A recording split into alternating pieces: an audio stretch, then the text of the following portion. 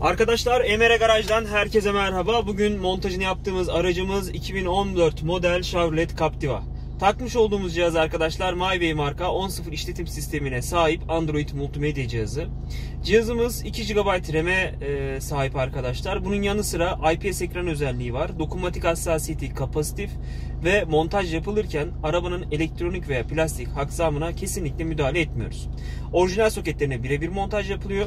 Yukarıdaki görmüş olduğunuz ekran kısmımız değişiyor. Klima panelimiz yine aşağıda. Bu DVD kısmımızı da değiştiriyoruz. Arabanın kendi CD çalarını söküp bizim kendi DVD çalarımızı takıyoruz arkadaşlar. Ayrıyetten geri vites kamerası montajı yaptık. Vitesimizi R konumuna aldığımız zaman görmüş olduğunuz gibi otomatik geri vites kameramıza geçiyor. R'den çıktığımız zaman da kalmış olduğumuz yerden devam ediyor. Aynı zamanda cihazımızda CarPlay özelliği de var. Ee, görmüş olduğunuz gibi telefonumuz şu an bağlı. CarPlay'de şöyle söyleyeyim arkadaşlar. iPhone'un bize sunmuş olduğu bir uygulama.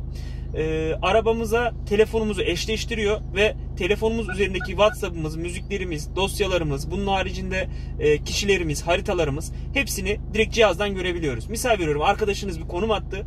Direkt konuma cihaz üzerinden gidebiliyorsunuz arkadaşlar. Telefonu hiç cebinizden çıkarmanıza gerek yok. Bunun haricinde ana menüye geçmek istersek de buradan kar bölümüne bastığımız zaman arabanın kendi orijinal menüsüne geçiyoruz. Şimdi ben size kısaca cihazın kullanımını anlatacağım.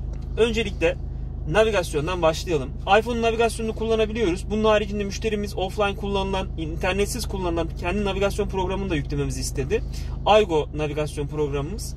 Kullanımı da çok basit. Sağ alt köşeye tıklıyoruz. Yeni rota diyoruz. Gideceğimiz yerin açık adresini adres kısmına yazıyoruz ve cihaz bizi istediğimiz yere götürüyor. Çıkmak için de yine arkadaşlar buradan geri tuşuna bastık. Sağ alt köşeye tıkladık. En aşağıdan çıkış yapmamız yeterli. Bu navigasyon programında herhangi bir internet bağlantısına gerek yok. Radyomuz var. Radyonun kullanımı orijinal radyosuna göre çok daha pratik. Yukarıda bir kısa yol çubuğumuz var. Buradan hızlı arama yapabiliyoruz.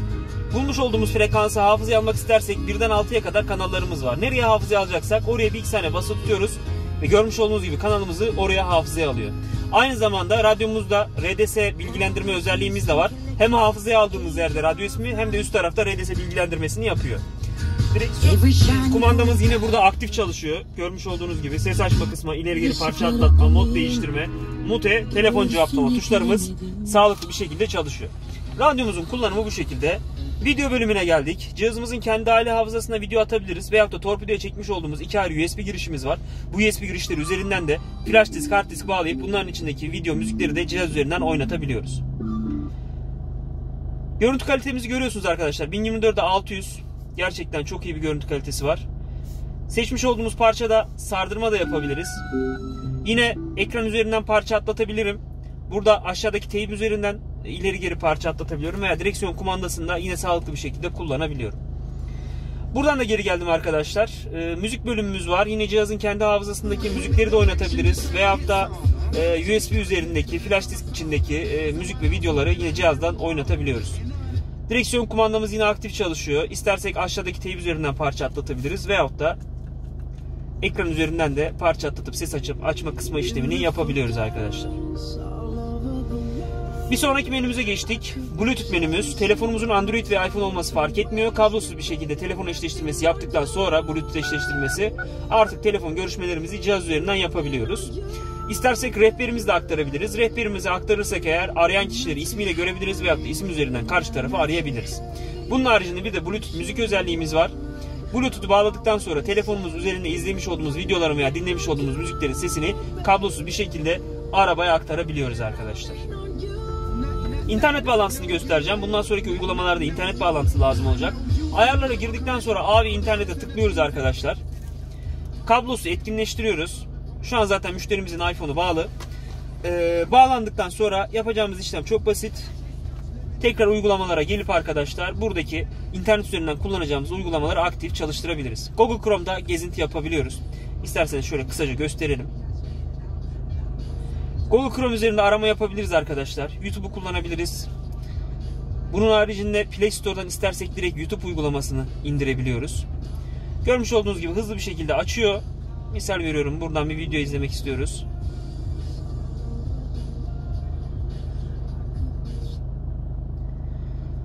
Videomuz açıldıktan sonra arkadaşlar Görmüş olduğunuz gibi e, arabanın kendi çalıştırdığı müzik bölümünü durduruyor ve YouTube'daki videomuza geçiyor ses.